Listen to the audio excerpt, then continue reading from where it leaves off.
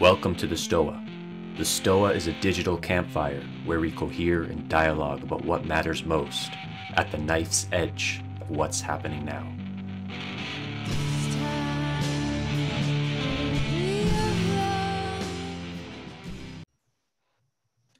Welcome to the Dark Stoa with Pat Ryan. I'm your host, Daniel Kazanjian. And for the uninitiated, these events tend to deal with slightly more challenging subject matter. Sometimes they prompt existential horror, and sometimes they blow your mind a little bit and they make you think. So consider yourself warned. Uh, the structure for tonight is pretty simple. In a moment, I'm going to hand it over to Pat, and he's going to take us through a really interesting, mind bending presentation. And throughout this presentation, I encourage everybody to write down any questions that come up, any ways that you want to challenge Pat, anything you don't understand and then we'll shift over to Q&A and we'll send them to the and people can have some dialogue with Pat Ryan. Um, yeah, and without further delay, I give you Pat Ryan. Howdy, folks. Welcome back. Thanks for coming back. Um, the last string of episodes have been fairly. Oh, oh first, is my volume okay? Okay, great. um, first uh, couple episodes of this have been kind of like, uh, uh, this one I'm going to pump the brakes a bit because um, I'm sure if you've been following along, you might be asking yourself the question, does he have any morality at all? Um, the answer is going to be answered uh, with this presentation, which is called the Morality Machine, uh, Belief as a Technology. So the word belief is pretty loaded. Everyone has their own personal definition of it I'm going to do my best to fight each and every one of you on it. And uh, so bear with me as I go along. I'm going to attempt to explain how how neural networks actually work without ever getting into the technicality of it. Because they're pretty complicated. By themselves in principle, they're simple, but if you're not initiated to that kind of thing, um, it's pretty daunting they make a lot of assumptions, and unfortunately, neural networks themselves aren't following any type of systematized logical approach. It's all very haphazardly discovered as we go along. So I'm going to do my best to frame how a neural network works exclusively in philosophical terms. And that should hopefully be a useful bridge to then explore um, some of our hair trigger inclinations when it comes to questions of moral decision making. Um, and uh, that's as best of a summary as I can come up with. Let me share the screen and let's get started. Oh no, you have to enable screen sharing, sir.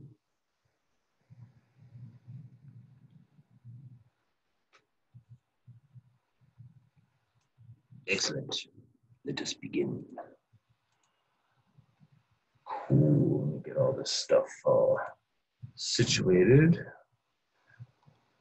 Oh, that's wrong. Go back. There we go. Okay. Uh, I think we're good here. Okay. Uh, Morality Machine. If anybody's played Chrono Trigger, one of my favorite games. This scene blew my mind when I was a kid. Uh, also, I'm still experimenting with a VPN sponsorship. So if you want to have a crack at beating some quantum computers, wild apparently that's going to be a thing. Um, try these guys out. You can QR code this or there's a URL. Okay, so moving on. Get these things up. No, I cannot. Okay, so we're going to talk about categorical correspondence, which is a fancy way of saying, um, does this category correspond to this category? Now, it doesn't have to be a tight category. If I was to say shapes correspond to triangles, that's a that's a correspondence. If I was to say um, uh, mugs of coffee correspond to cats, I'd have to work a little bit harder to make the correspondence. So I'm basically I'm this is about making taking a concept and figuring out what category that concept belongs in is what we're kind of always doing with logic and trying to determine these things. Now you can do hard categorization, say this thing is absolutely in this category, or you can do kind of a Gaussian categorization where you say this is about 40% in this category and 30% in this other category. And this is the kind of rationale we use to start evaluating moral systems to begin with. we always start in this typing categorical process. Um, and it's made more relevant, especially in a time when we have surrounded ourselves with so much technology that is all just a direct extension of set theory, anyways. So from set, you get type, from type, you get category, and so forth and so on. So the we have put ourselves in this position where our morality is now being shaped not only by us, but by our desire to make our morality representable within machines. And we're able to do that because we have the internet. The internet is a way where we can reach out and poke one another and say, Did I poke you and get the behavior I want? If the answer is no, then the poking will continue. And as a result, we just keep iterating and coming up with these new ways to jam our morality in these machines. And the way we're doing that right now, as of 2020, is through neural networks. So I'm going to walk you through it real quick. And if you know how this stuff works, please bear with me. I'm doing my best to bridge it in philosophical terms. Okay, so let's say I have a brightness sensor. It's uh, you've all seen these things. They you you walk near a garage and it kicks on a light because of a motion sensor, right? That's that's kind of a brightness sensor or an IR sensor or anything along those lines. So there's something out there reading light or heat or something. And as it's exposed to that heat, it then represents the intensity in a numeric form. It could say, ah, well, it's about, let's say that 256 is as bright as it can handle and zero is as dark as it can handle, right? So everything in between is a gradient of brightness, right? From zero, which is absolute dark, to 256, which is absolute brightness, right? So in this case, I have a set of these values. This is the brightness that the brightness sensor just happened to get in some random sample of time that I just picked for convenience, okay? So what I'm doing is each one of these lines will carry what's called a weight, meaning I'm going to say, hey, 256 to the dark, for, um, for the assessment of how dark 256 is, there's going to be a weight here that explains exactly what that means. So 256, remember that's as bright as it gets. To the dark categorizer, it's going to say that's zero dark because this is bright as it gets. Now, if I if I sent zero to the dark categorizer, that would be 100% dark, right? So each one of these lines carries the bias that the categorizer uses to make the evaluation. So if I sent it uh, 128, which is half of 256, I send it to the bright categorizer. It says that's 50% bright. And if I send it to dark, it's also going to say it's 50% dark. So that's pretty straightforward, right? So I say uh, 64 in this case, I send it to bright, that should be around, if I could do my math right, that's like uh, 75%, no, it's 25% bright and 75% dark? So it's, it's pretty simple. It's just a formal way of representing um, the weight and what comes out of it. So what we're doing is we're taking these events, these brightness events, and we're encoding the value. We're, wow, that's a terrible place to put that. Uh, we're encoding the value as a category, basically. That's all we're doing here, right? So if you see these graphs you now know what these graphs are actually doing. Um, now, I'm not going to get into hidden layers because I don't want to chase anyone out. In fact, I'm, I'm going to save that for last. So just pump your brakes a bit, right? So just to walk us through, um, this is my training. I'm training my categorizers to understand this stuff so that when I hit it with a value it's never seen before, in this case 76, because I didn't start with 76, what's going to happen is I'm going to run it through this network and it's going to tell me that it's 29% bright the categorizer will tell me that, and the dark will tell me the inverse. So pretty straightforward, kind of, as best as I can put it. So we're doing a categorical assessment of a new event. This new 76 is a new event. That's a new brightness. It hasn't been there before. The machine, uh, the categorizers are able to say, you know, it's this bright or it's this dark, right? Pretty straightforward. So let's switch it up a bit. Let's make it about morality instead of light and dark, let's do good and evil. Now we're going to open up all kinds of problems because I just said the two magic words that make this a big problem. What is evil? What is good? Well, that depends upon what behavior are you are you quantifying as morality. You know, what's what's the value here? Are you 256 what? 256 dollars you donated? Is it 256 times you hugged your kid? What what is this value representing here, right? So we can have infinite questions about what these numbers should be. These things will work. There's no doubt about that. If I if these things will absolutely categorize whatever the hell I train it. So now we got to step back and say, what are we what are you categorizing here? Really? I mean, is can you even do this type of thing? So that's like red flag number one. That's uh, behavior as quantified morality. Who, who's labeling these values? Right? Who's coming up with these numbers? And who's actually able to like agree to those numbers and comport to them, right? So the problems are starting to amass from the jump. If I give it 76 using the same exact model from the previous slide, then 76 is 29% good. So whenever people say, well, it's not about good and evil, it's the gray area in between, congratulations, I've given that gray area a number. It's now 29%. You are 29% good. I can now measure your grayness, right? So now our morality is starting to um, it's starting to turn into an interesting thought experiment. Before morality was the the measure of, of man's inaction or man's action with itself and other people and the world and the universe and being and reason and trying to formulate all that stuff. And now I'm, this is how machines see it. This is how AI will take these deep problems that we've enamored ourselves with and it will spit it out into these distributions, these percentage distributions. And that's what it's currently doing right now regarding how how much hate speech exists in a in a post, how much uh, how offensive a meme is.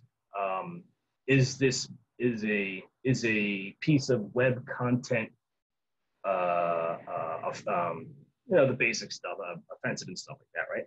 So that may sound good, and that's how they sell it. They're eliminating hate speech and that kind of thing, but this is what it looks like. I mean, this is what it actually looks like at the mathematical scale, which is, again, we know the problems of trying to quantify morality as behavior values. Uh, the problems don't go away when we extend and we, we go further. It gets worse, in fact. Um, so what I've tapped into is this this unending holy war about not only the quantification of, of the moral behavior you're trying to measure. Uh, now we talk about categorization errors. That 76 is 29% good. Well, it turns out the fan club of 76, they're really pissed about that rating. They know that they're better than 29%. In fact, they have the historical evidence. They can say, God damn it, we are not 29% good. We are at least 80%. So now you have these holy wars about the outcomes of these things to begin with because your priors were all wrong. Your values were and here they come. Oh my God, there's a million litany of reasons as to why this value's bad. It's, they're just going to yell at you all day. And oh, by the way, they also have unaccountable influence in Silicon Valley, so they can ban you from PayPal and Stripe and your life, basically. So it, these people are very upset, and this is just the, the stereotype I'm throwing out there because the internet's a lovely place. Um, they, they're very upset about this, this 29%, right? This is bad. Uh, they they are not happy with that numbers. In fact, it's there's, there's systemic reasons and socioeconomic conditions, and just, they just keep throwing just books and books of, perverted sociology at you until you just say, fine, I'll fucking change the number, right? So how do I change a number? I have to calculate the loss. And that's a math term, and I apologize, but I have to calculate the loss. To, or more correctly, in philosophical terms, the categorization error, meaning that 20, that 76 was not supposed to be 29% because this person's real pissed off and they put a gun to my head, so I better make it 80%. So how do I do that? Well, I got to take the 29% that is uh, that it's done. I got to run this creature through it, and then I can calculate my loss. So I got my loss, and now I have to reapply it back to my categorization methodology.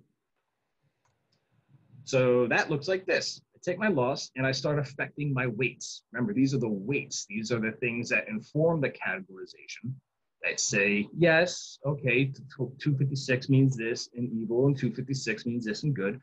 But our the person who put the gun to our head says uh, that's that's mean, and they're calling these things racist, and these things aren't racist. It, this this is the problem right here. It's not these things. These things are just doing whatever you train them to do. It's not even calculating the loss is the problem. It's not even the weights or the biases that are the problem. It's actually this insane idea that you can quantify morality. That's where the problem is. But we don't care. We don't want to do that. We've sunk way too many billions of dollars into these machines, and God damn it, I want a return on investment. So we're going to tweak the loss instead. So now we're going to take that loss and we're going to apply it to all of our weights. And now suddenly 76 is 80% good. Well, we did, we did it. We hacked the numbers. Woohoo! Yay us, right? We, uh, we, we represented the, the exception in our moral framework and we've baked it in the machine. So when the machine sees the 76 again, it will make the appropriate categorization, which means the gun that's against our head will back off slowly, right? So we did it, right? We're not making moral assessments anymore. We're compensating for people with power. Well, now we're no longer talking about morality. We did it, right? We have now jumped the shark. But we don't want to keep we, we don't want to catch ourselves jumping the shark because that gun can come back anytime. You know, it can come in your birthday, Tuesday. You don't want that shit, right? So, oh damn it, it's not good enough. 80% wasn't good enough. Shit. She was at higher. She was at 90%. It's, it's she has a million more reasons now why that's not good. Oh, God, now we got to do this again. Oh, okay, fine. Well, all right. Well, we'll just apply the loss again. All right. We know how to do this. It's not the end of the world. We know how to do this. We're going to do it. Okay. So we're going to take the loss. It's something's interfering with humanist progress, and it's up to us. It is our holy crusade to do this. It's we we got this, people. We got this. We know how to do this. So we take the loss because we know how to take the loss, and we know how to apply it to the next iteration. Each one of these is um, it's like an iteration of every time I apply the loss. So I'm applying the loss to change the weights, so the categories are better. So let's do it again. And we're going to keep on doing it. We're going to keep on doing it till we get that number we're looking for. We're going to just, we're going to, right, we got to hack this damn thing. We're going to get that number. And we got this. We, we got this. We know we got this. Wait, hold on. What do you mean the percentage changed zero zero zero one? Hold on. Whoa, whoa, whoa, whoa, whoa. Oh God, she's back. Oh no. Like, what are we gonna do about this? I I, I changed the numbers. I did the thing. I did the thing. I, I I made the loss. Like, what the hell? What did I do wrong? What is going on here? Well, now, in addition to compensating for someone with a gun, uh, we are now fighting the machine itself. So now we're not even talking about morality anymore. That's just out. We gave that up like two slides ago, right? Now we're talking about now we got to fight the machine. Okay, so now I promise to keep the technical away. I have to delve into this a little bit.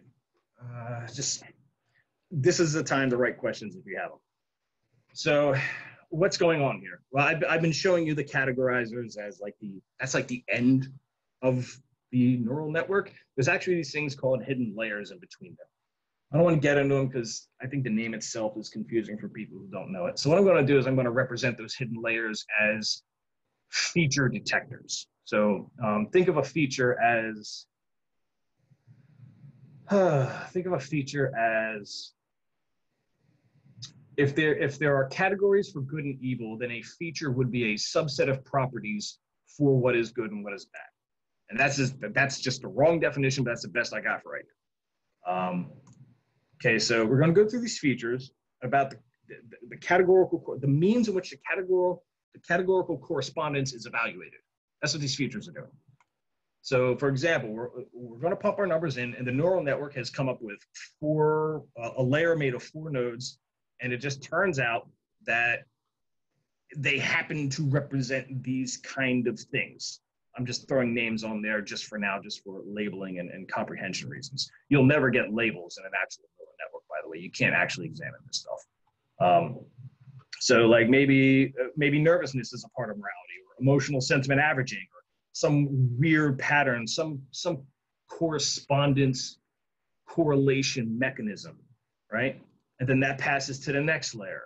I'm just going to say, you know, maybe this layer is looking for these things, and then it passes to the next layer, and maybe it's looking for these things. And when it goes through this whole thing, that's how it makes its actual categorization.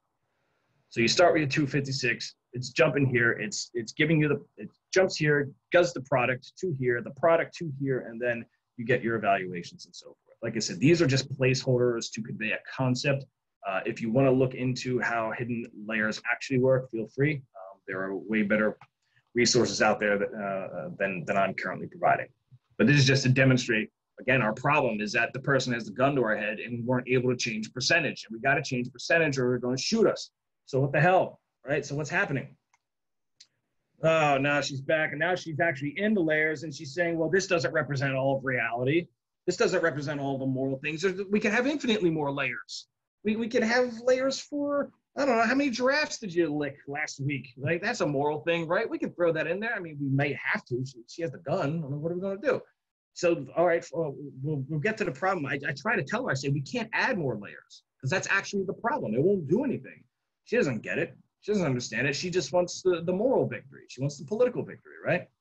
So it, the reason why adding more layers doesn't work is because a thing called vanishing gradients. Vanishing gradients are a, if you remember the last talk where I focused on infinitesimals, infinitesimals are back and they are causing problems. So we calculate our loss, uh, which we've done uh, just, just as we do because we're trying to correct. And then what happens is the loss just say the loss just happened to be like 0.1 for whatever reason. So, so we apply it backwards, we propagate it backwards into these weights to change it so that when this spits out values, we say, well, your values need to be modified a bit.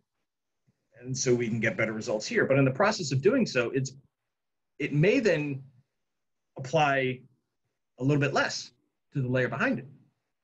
And now this one spits out evaluations. We modify that and it puts it in here. And then this modification might happen. The moment this happens, you're fucked. You're done. It's over.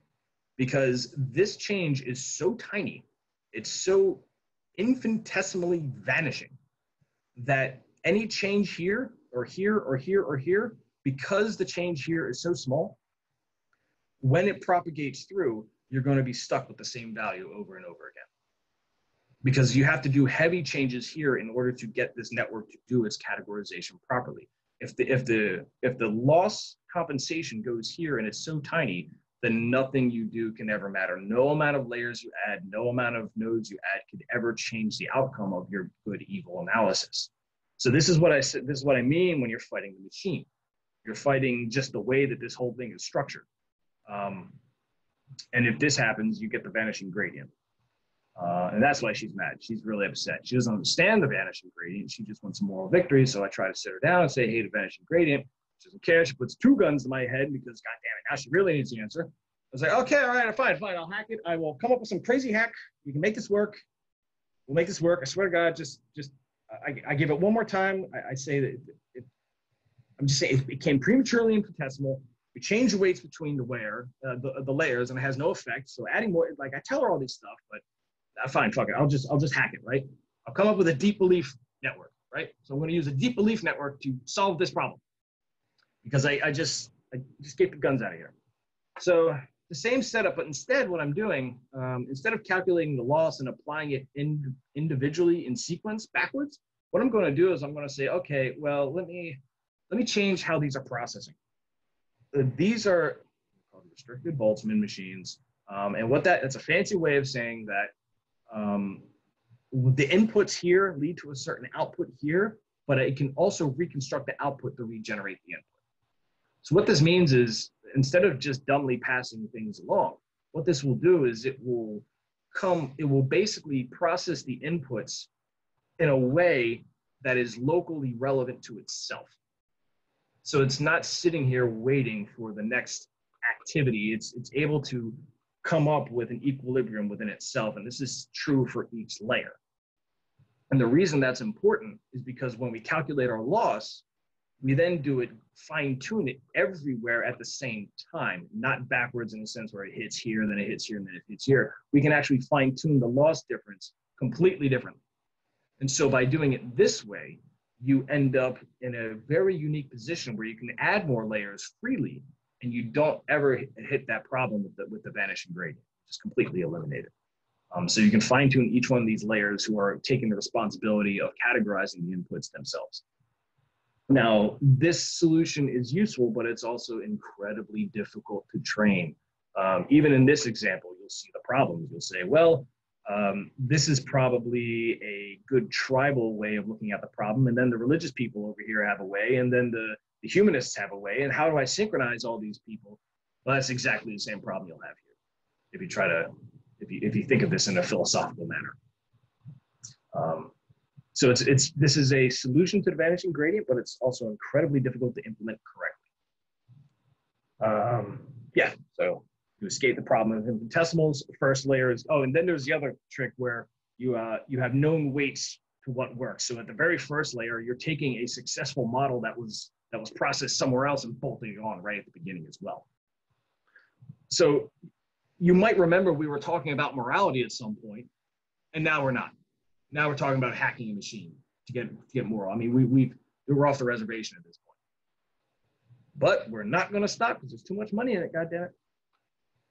And you're probably confused, right? You started out with, I just want to calculate moral behavior, right? That's all I want to do. That can't be that damn hard. Well, it turns out it is.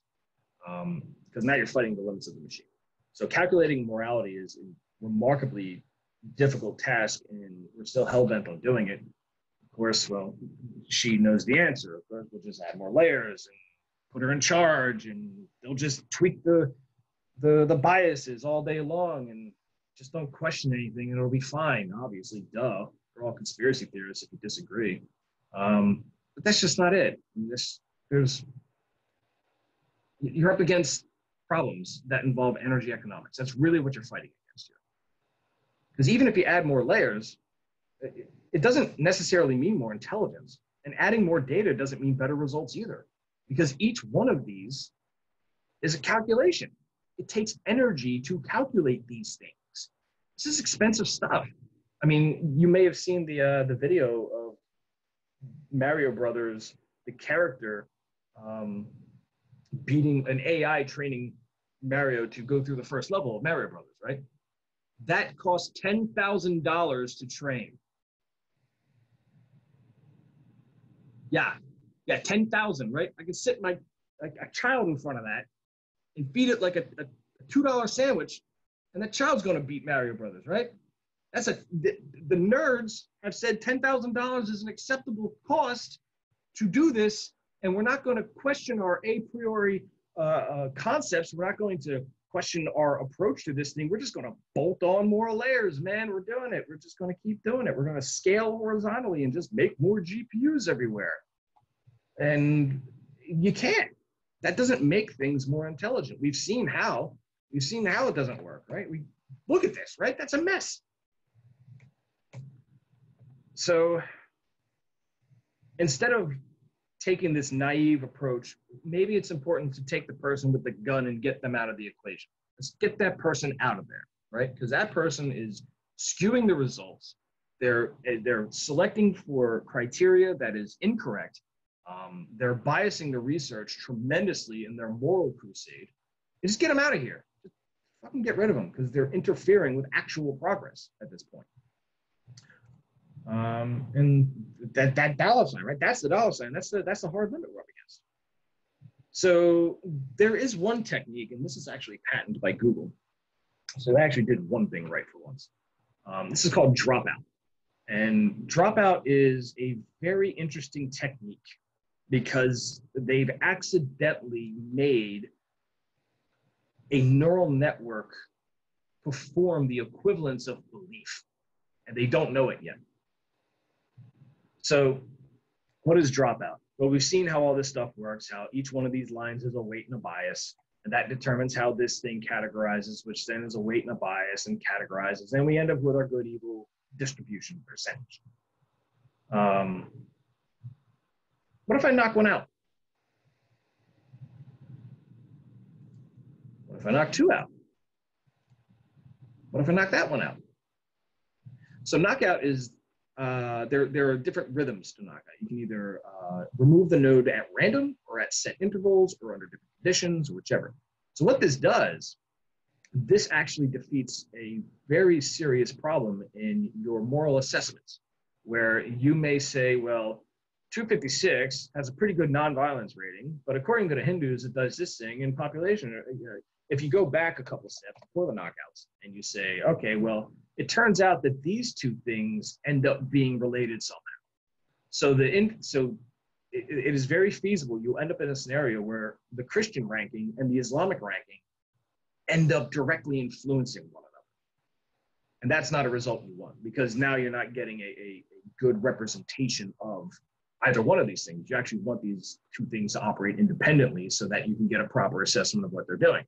But if they end up in a scenario uh, just because of how the training worked or the value that they're dealing with, they will end up sometimes in a scenario where uh, one's ability to process will have an interlocking ability to interfere with this one's processing as well. So what you do is you knock them out.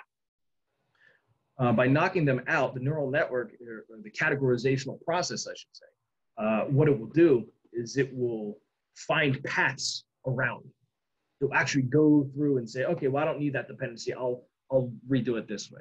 And so what you're able to do is you're able to curate these these hidden layers in a way to where it is you're you're eliminating path dependency, which is another way of saying um, uh, cor- um, correlating correlating values, which I don't think is the right word. I'm sorry. Um, so in doing this, what you're actually doing is more similar to what the brain is doing as opposed to anything else that, that we looked at. There's an entire army of, of uh, AI scientists who are convinced the brain does back propagation. And back propagation is that, that vanishing gradient thing. There's an entire army of people who are convinced that's what our brain is doing. And there's absolutely no evidence. It's, it's just, it's all hoax. It's not real.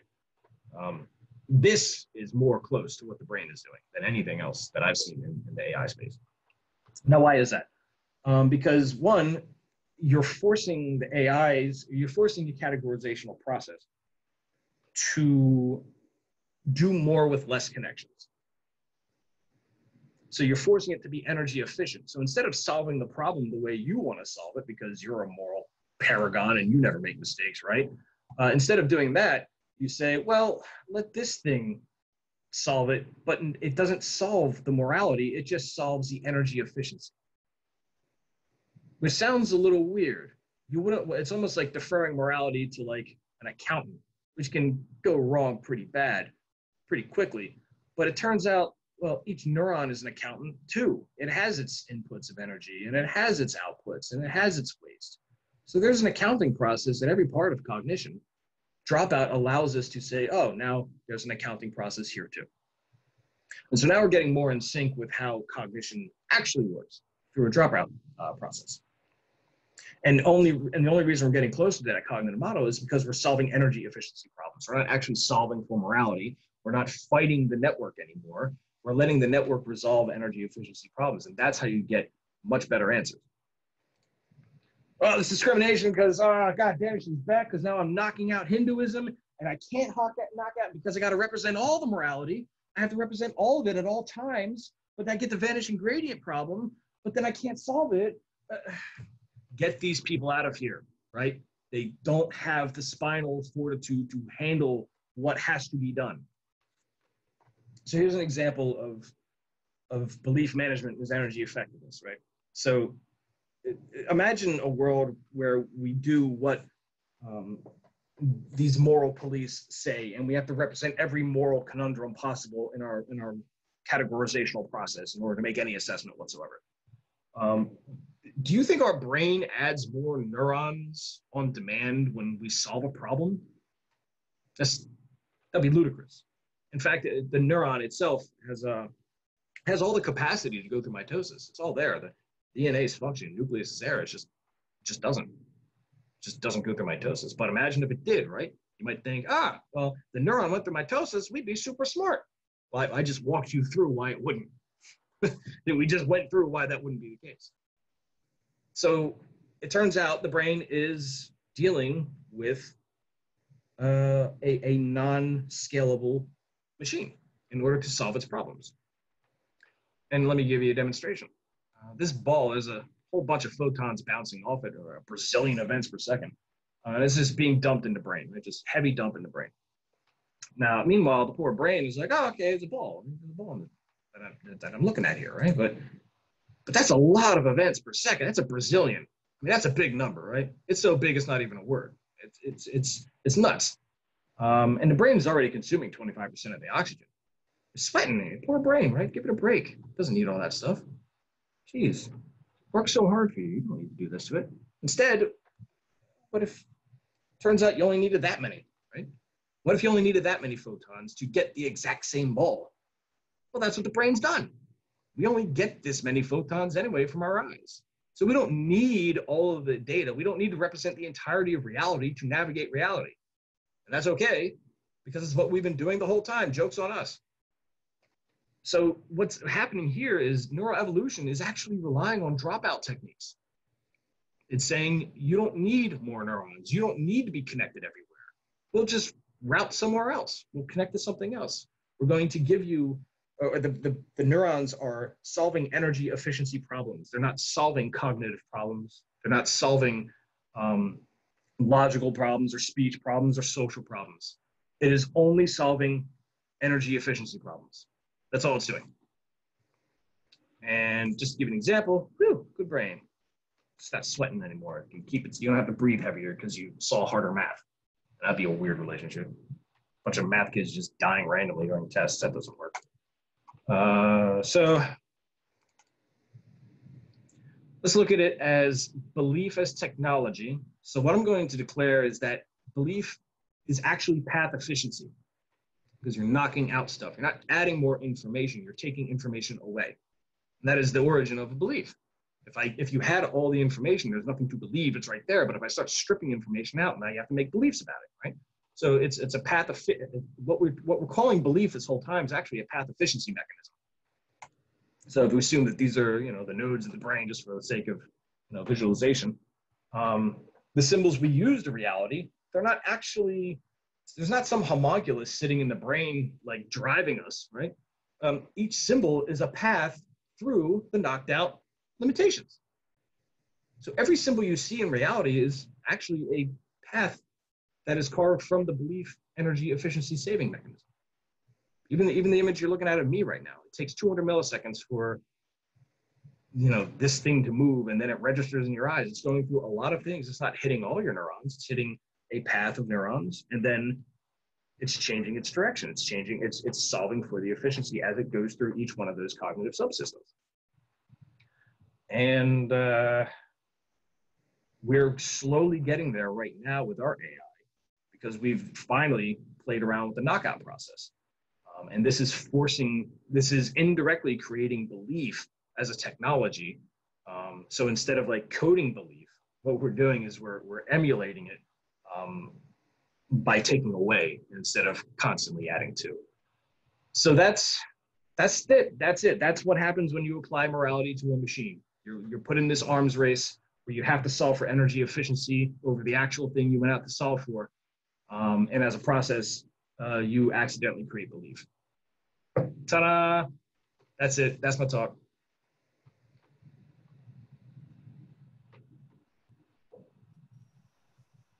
Wow, amazing. All right, everybody. This will be a good opportunity to start preparing your questions and throw them into the chat. Uh, I know that some were already written, uh, but they're kind of buried, so feel free to write them again if you still want to ask them. Uh, in the meantime, I will get Pat warmed up with a couple of my own.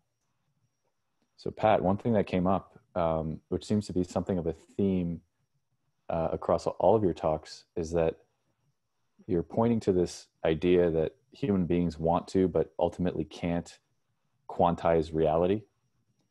Um, can you say more about this? Like where, where does this desire come from? Why is it fundamentally flawed? Uh, what are the deeper motivations here? Yeah. Um, playing the game of this is 25% good this is 70% bad has it's ludicrous when you see that game played out and the reason it's ludicrous is because, um, I said, well, welcome to whose line is it anyway? Where all the where all the rules are made up and the the score doesn't matter, you know, kind of like that. Um, it's it's ludicrous because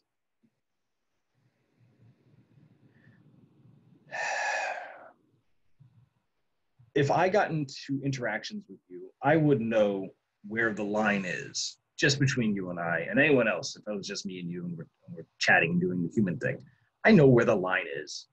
I mean, I have my autism moments, but I know damn well where the line is. And you know damn well where the line is too. We don't need to sit there and formulate it and draw it out and have a contract and write it down. We only need to do that thing if we're going to walk away from each other. So uh, if it's just you and I and you're here, we can we can hash this out and figure it out. But if I got to go over there, then I got to represent this line that we already established with one another and then i got to enforce it and then i got to build this legal system on top of it and i got to it, it, we've seen what happens. It results in these tremendous moments of gain a sort of centralization that's the most efficient way of enforcing that type of moral you know that moral emulation that we call law or the moral emulation that we find often in theology um, and people are tilting at the wrong windmill when they say oh religion causes this and oh uh, authority causes this. It's, it's not. It's, it's not it. We're trying to we're trying to recreate the line that that human beings naturally have.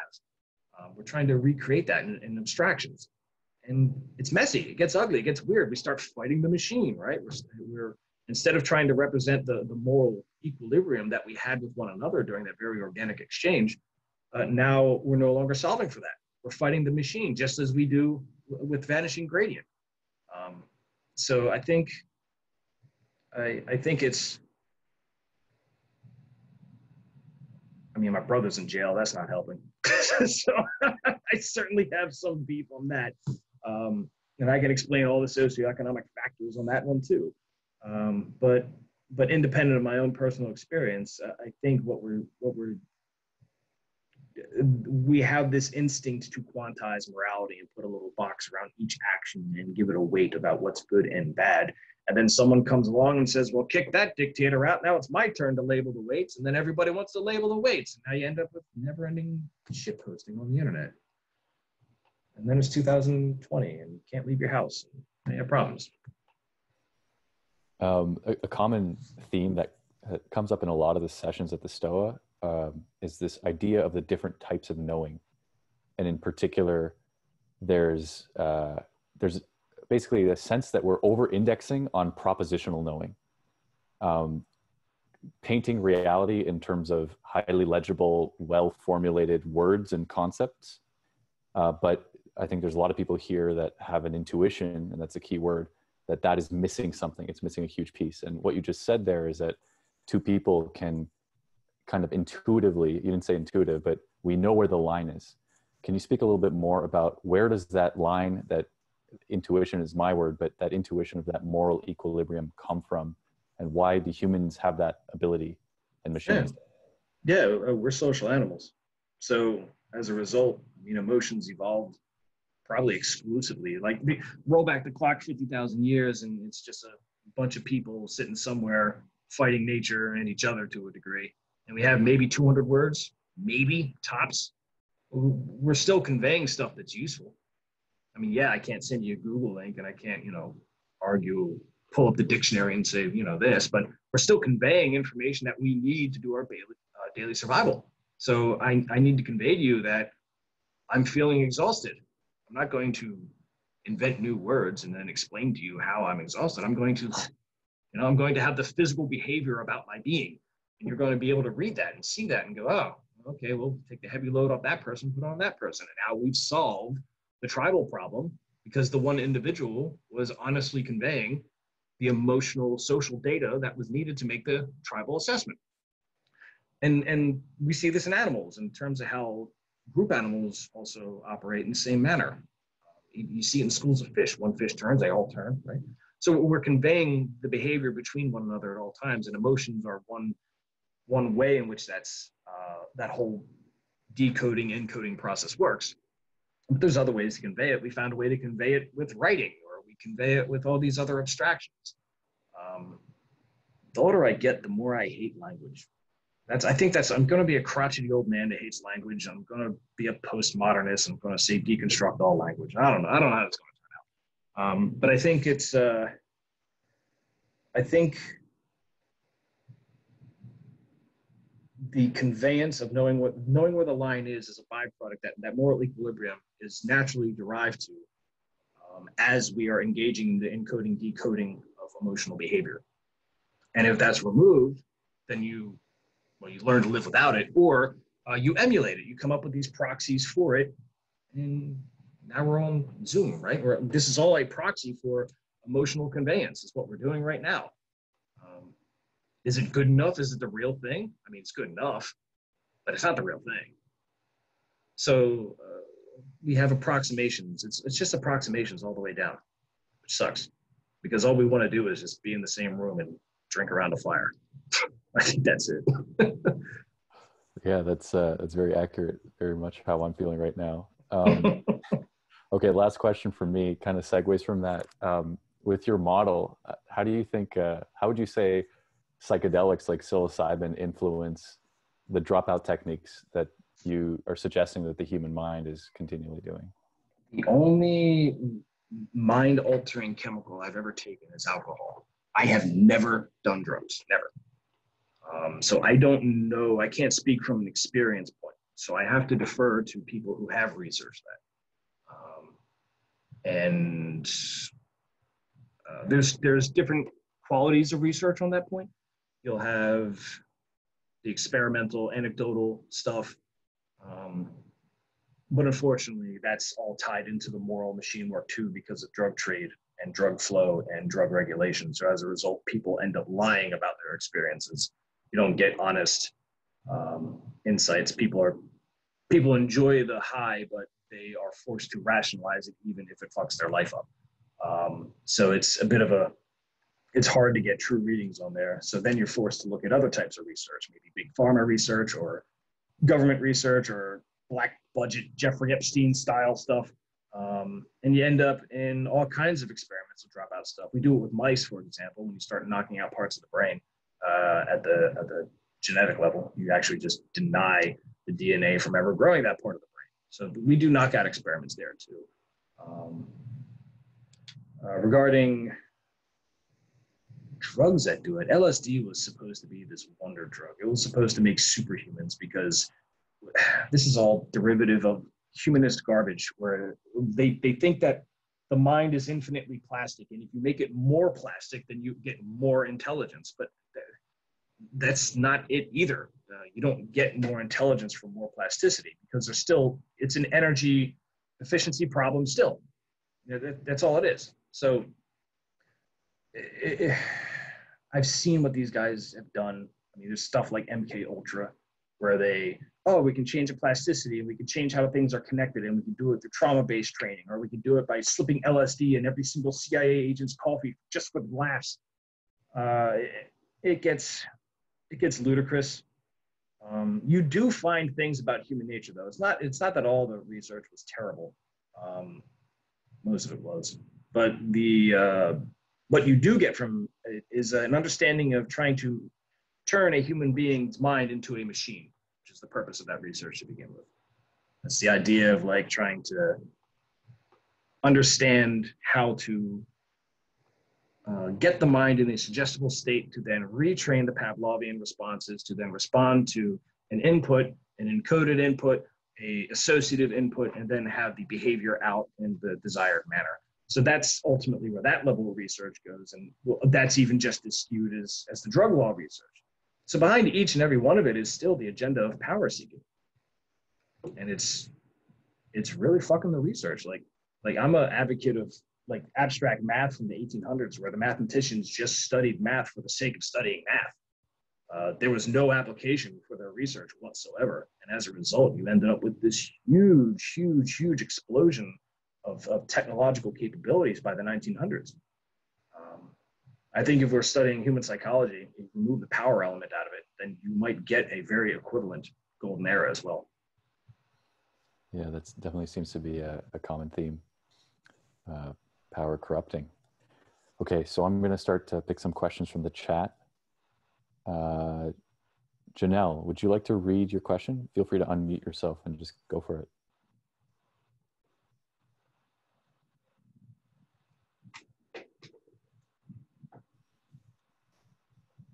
If you're still there. All right, I'm going to pass it to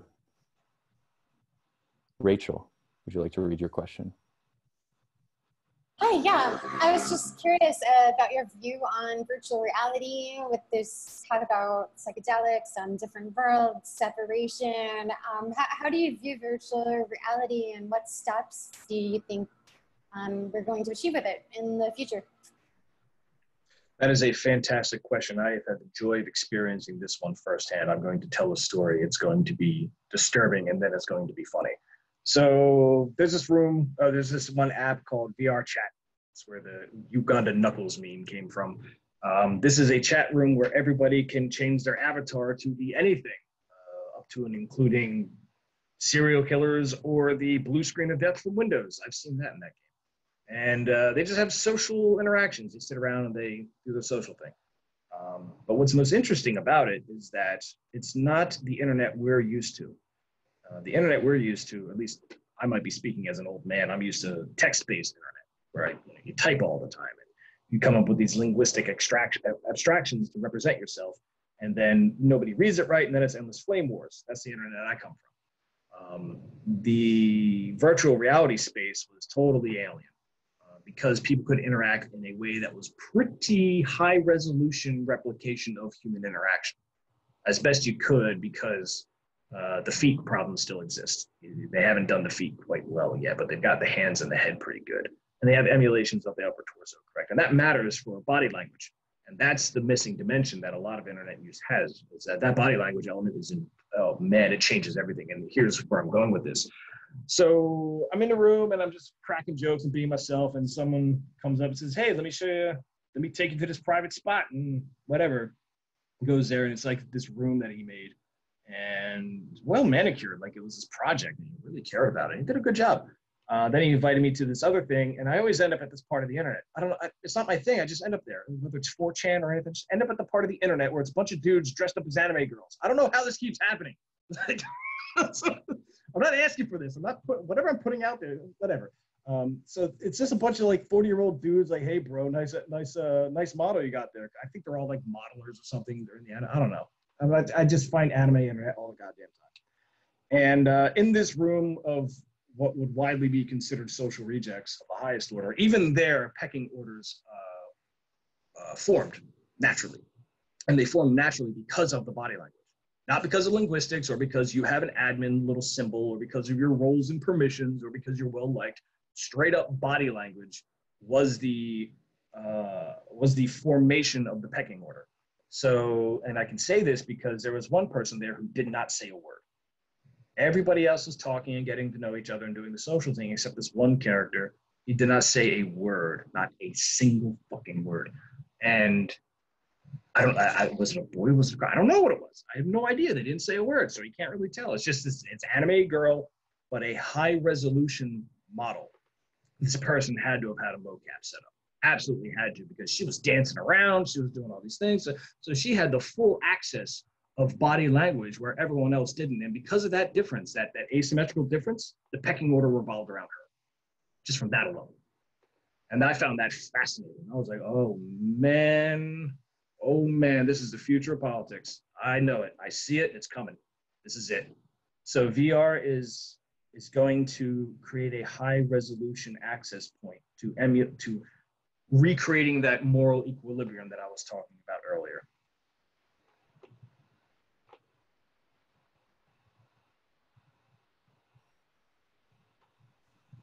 All right, uh, Alexander Lee, would you like to unmute yourself and ask your question?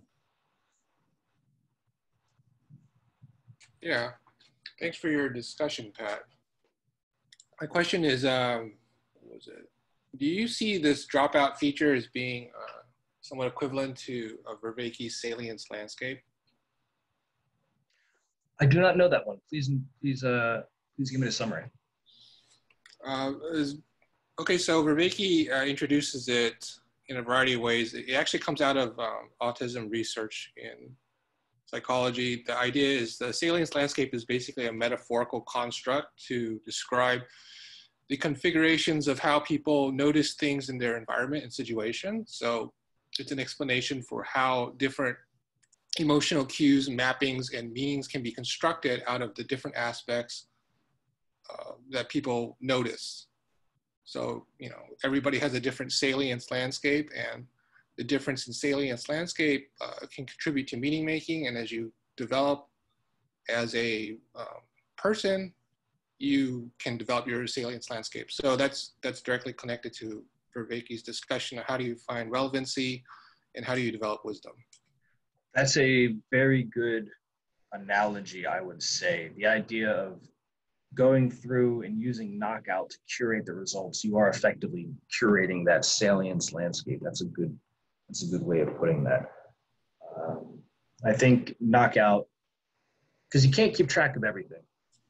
There's there's too much information going on at all times. It's mostly noise. Um, biology does a fantastic job in filtering down what it should be looking for. Uh, and you probably want to check up Hoffman's um, TED talk about that regarding uh, why we don't see reality and, and, what we're actually filtering from it is primarily mating signals. Um, because the moment any simulated life started seeing reality, it was dead in three generations because it wasn't looking for any, it wasn't looking to reproduce. It was too busy looking at the atoms. Um, so it wasn't able to find mating signals and keep going. So I think um, by the very nature of cognitive evolution itself, you're, it's all knockout uh, in terms of data availability. Um, you just don't have access to everything, and that will that will change. I mean, what you see is what you're exposed to has an influence and stuff, and what you're not exposed to also influences you too. Um, and that salient landscape mechanism is, is a good explanation of, of explaining that outside of my neural network spasm that happened 20 minutes ago. Um, how do you develop wisdom from that? That's a hard question because I I live in a time in which wisdom doesn't exist, so I don't know that answer to that question. Well, I mean, Vervaeke, um, I mean, when you when you involve other people, I mean, ultimately it's about coordination between other people. So, uh, wisdom is maybe uh, can be defined in some way as, as having a salience landscape that's flexible enough to notice Ah, what's relevant to other people. I see. I see. Cross overlap. Is that sufficient? Is it sufficient enough to leave? Is it sufficient enough to do your own knockouts? Meaning, remove that. Yeah, it's good practice to conduct your own self knockouts. Um, it's very good practice, in fact, to say, okay, I know how this model works. Now I have to take everything I know about that model and get rid of it, start from scratch, uh, because I may have missed something. Uh, if, if you get too complacent on a subject, uh, you may miss developments on it. That could be a good definition of wisdom. I think you can work with that. Cool, thanks. So we are approaching 9:30, but there's still a couple more questions in the chat. Uh, normally we do go over this mark um, because of the energy and the conversation. Pat, are you still good to stay on for another 10, 15 minutes? Okay, great. Um, okay, uh, Julian, would you like to share your question? Uh, sure.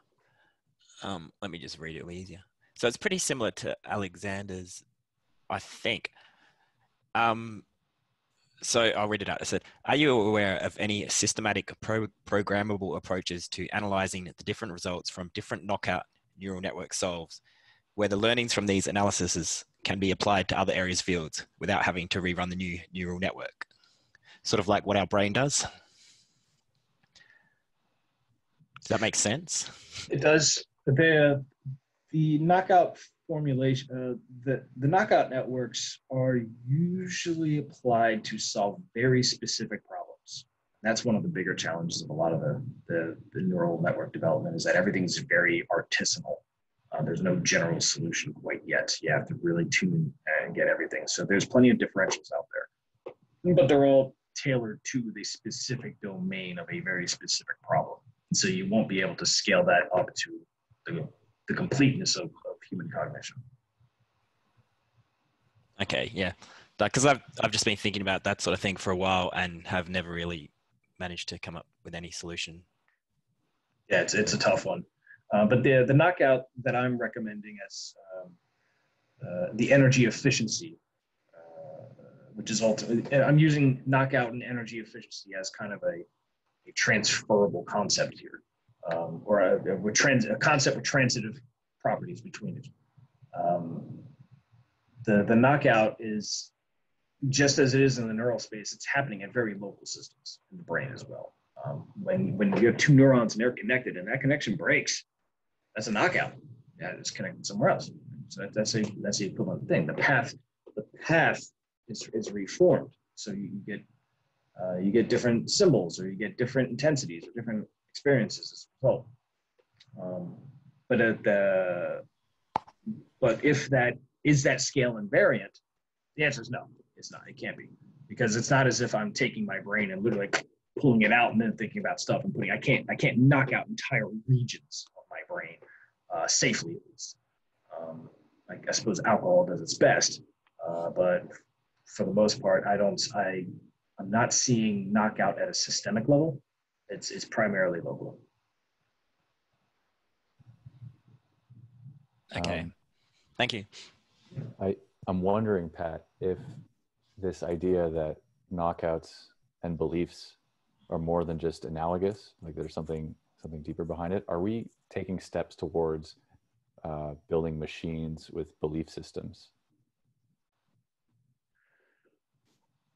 We are not consciously doing that.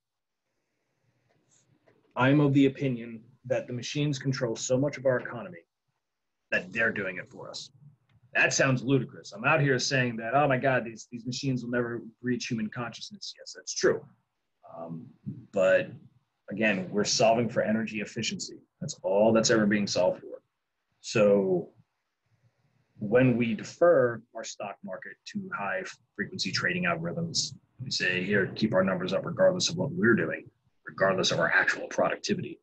Uh, we just need to keep the numbers up because, God damn it, all those 401ks, you don't want them sinking or it's going to be bloodbath everywhere. So now we said, here, AI, solve this for us. Now we go to Google and say, hey, um, solve our morality for us because this is too messy and we don't want to be liable. Uh, we have all these political ambitions, but we just don't want to be caught doing it. So can we just defer this to uh, the machine and then they can do it for us? So now we're deferring that to the machine, right? And then we go to the politics and we say, well, we know what Cambridge Analytica can do. It can alter the reality tunnel of individual people.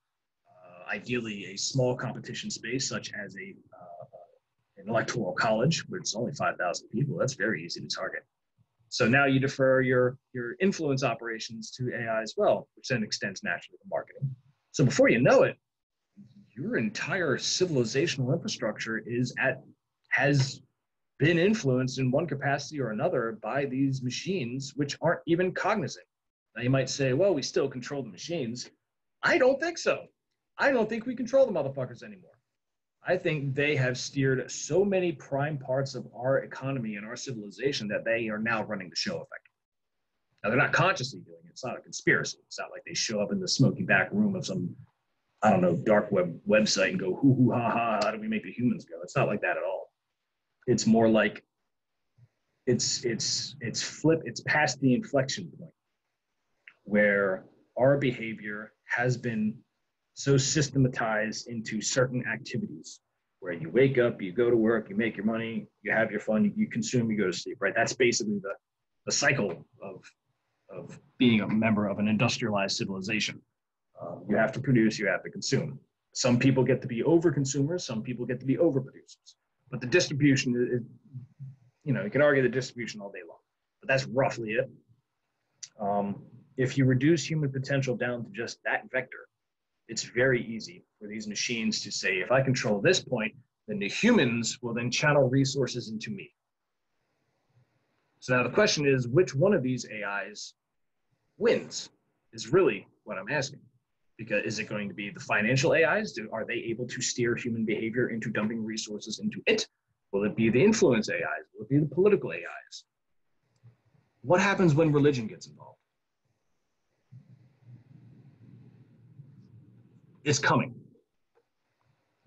It's going to be fucking weird, but it's coming.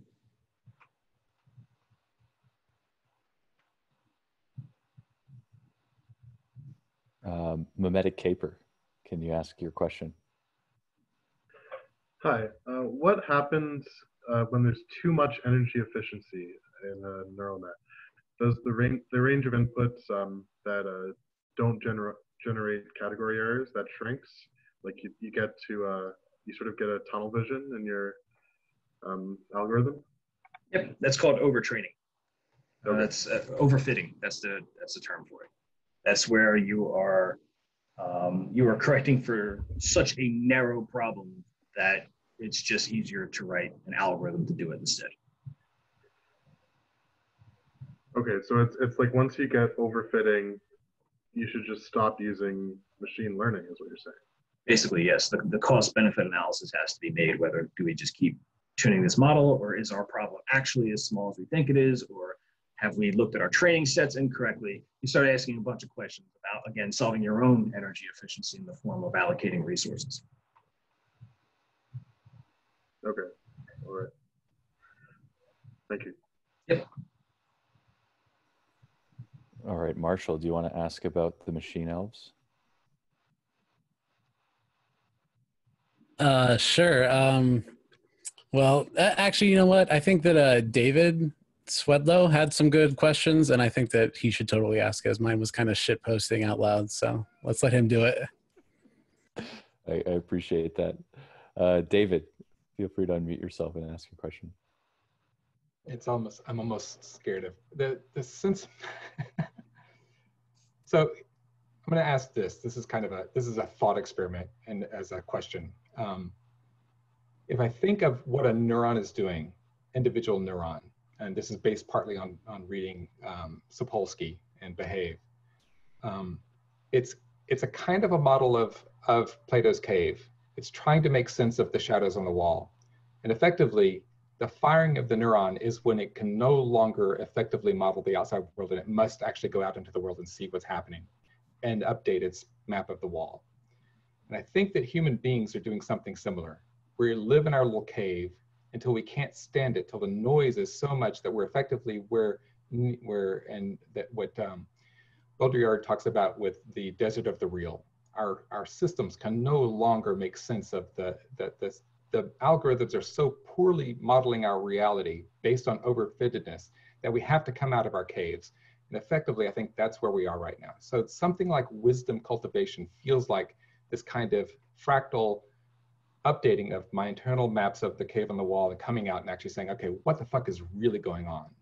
That's right. Yeah, it does make sense. In, in fact, uh, that goes back to the calculating your loss, um, where your uh, your categorization error has hit your threshold. Basically, you're saying this is no longer acceptable. I need to do something to either my experiences. But we're always we're always modifying our brains. We just don't know it. Um, you have an experience, you're modifying your brain it's not like your brain is this box and it's like immutable. It's it's you know it's rewiring itself as it goes. So um, the models that we use come from our symbol efficiency tricks. So when I look at that ball that was in the slide a couple uh, couple 10, 10 20 minutes ago, um, that ball is there in its own space, but now it's in my mind as a path efficiency. It's there. It's it's baked in, and now I can go down the path. I can reconstruct the memory of the ball so I have the model of the ball available, but if the ball disappears, my model needs to be updated. So my categorization where the ball is is now wrong. So now I gotta modify either my biases. I, I can't do self-surgery on individual neurons. So what I do is I just steer my body to go find the ball. So now I'm gonna go find it, right? So there are thresholds in which the models do go out of whack and we have a whole range of corrective behavior to engage in.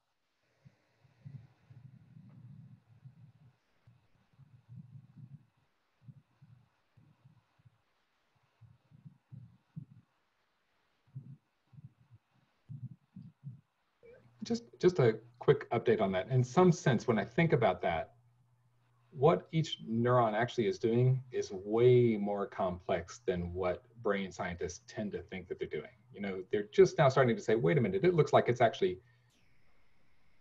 not only is a brain a neuron cell isn't just a neural network node, it's it's doing exclusive OR mm-hmm. in the dendrites. So mm-hmm, it's doing mm-hmm. something way more yeah. complicated than a single yeah, it is. bit. Um, yeah. That, that energy efficiency is going to compound into its structure itself. Yeah, absolutely. I would agree with that.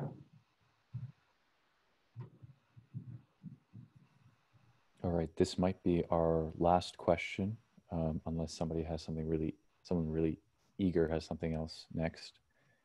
Aria, can you unmute yourself and ask your question? Hey, Pat. Thanks for the talk. It's pretty cool.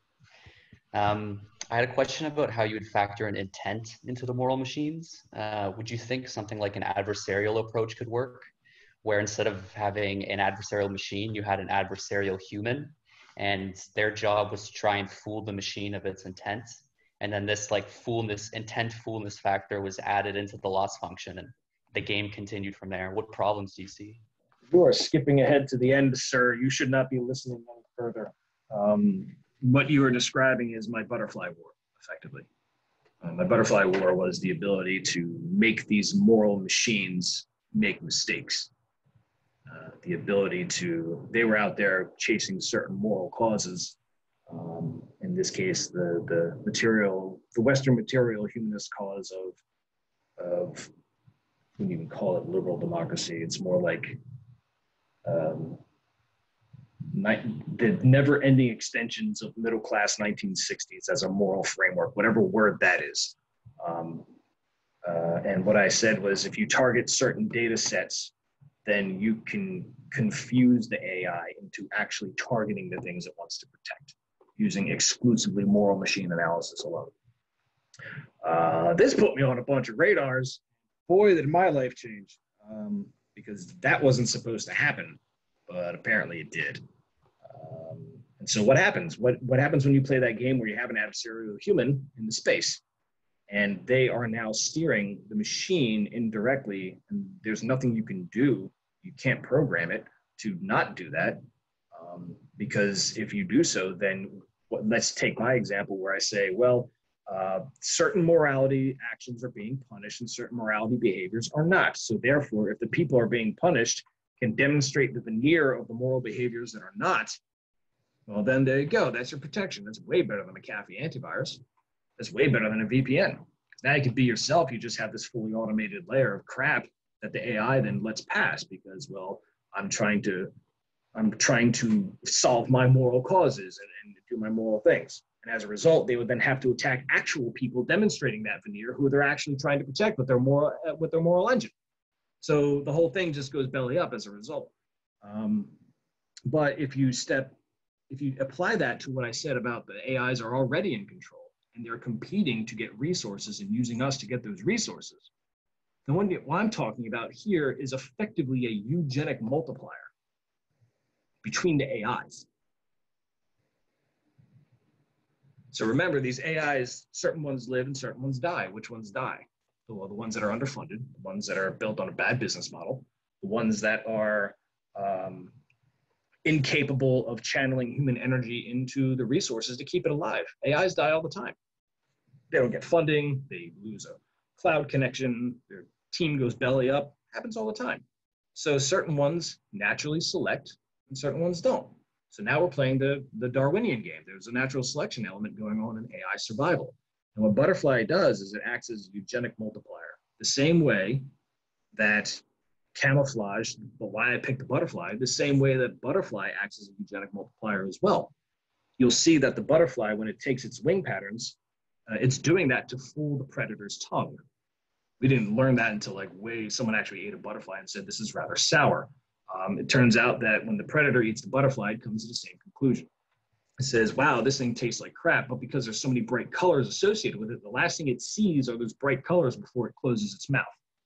So then it associates those bright colors with the toxic taste. And so it ignores the bright colors. And then other species that aren't butterflies start generating those colors, by the way. Mammals, lizards, flowers, they start generating that color because they're selecting in a way that, well, the predator doesn't eat that color. They're not making the decision, obviously, it's not how natural selection works, but it is a eugenics multiplier. Things get to survive that otherwise should not because this one thing tasted bad. The predator has been fooled. So the answer to your question is, is natural selection, eugenics and the game of camouflage. That's where it ends. If you try to impose an intent in these moral machines, is what I'm saying. Yeah. Do you think if enough of us uh, started playing the game of fooling intent, we would just engage in this like infinite game with the machines? Yes, correct. Yeah. Cool. Thanks. Yep. All right, Hannah, take us home. Ask us the last question. Sure. Um, so my understanding of thought uh, is I roughly call it a Pavlovian model. And my understanding is something like each neural pathway becomes the more probable pathway for thought every time you take it, sort of like wearing in a hiking trail. Um, so I'm sort of curious on your thoughts on this model and how it corresponds to um, what you've been talking about tonight. Yeah, the um, the Pavlovian training repetition exposure. Um, again, it's a path efficiency. What you're describing. It's not that the path is being selected intentionally. In this case, you're overriding the efficiencies and forcing one into play. So instead of letting the brain come up with these conclusions of what's good around it, that would be a way of imposing intent uh, into the moral machine of the brain. The same way, if you try to force uh, weights and biases um, into a neural network, you get things, you have to come up with this very complicated, effectively therapy to fix the, the moral machine. And the same is true about Pavlovian responses. If you if you train someone through repetition on these on uh, certain domains, um, there are costs that are seen in their behavior, and you have to engage in serious therapy to undo it. Thank you. All right. Thank you so much, everyone, for participating. Uh, feel free to click the Zoom reaction button and clap for Pat Ryan, or you can snap your fingers in the kind of cringy way that people tend to do on Zoom. Um, thanks again, Pat Ryan, for another amazing session at the Dark Stoa. Um, I'm just going to mention uh, a couple things about what's happening at the Stoa for everybody here. So if I can pull it all up. So uh, there's a there's an event coming up with David Fuller from Rebel Wisdom, and I imagine a lot of the people in attendance here are familiar with Rebel Wisdom. It's sense making journalism in the liminal war, and it's going to be at 1 p.m. Eastern on Tuesday. Uh, and Peter and David Fuller will be discussing uh, a recent Rebel Wisdom talk that they had. And also, just uh, one thing to for people who don't know, the Stoa has a series of recurring events, kind of like this one that happens every Friday, uh, that we call the Wisdom Gym. And if you go to the stoa.ca, you can figure out which one of those events you want to plug into. And there, there are mastermind groups, there are meditation exercises, and all sorts of things. So check that out. Uh, and the final thing I'll say is the Stoa is a gift. Um, and this is our gift to you. And if you feel like you have a gift to give in return, you can do so at the website that I'm going to put in the chat below. All right. Thanks, everybody. See you all soon.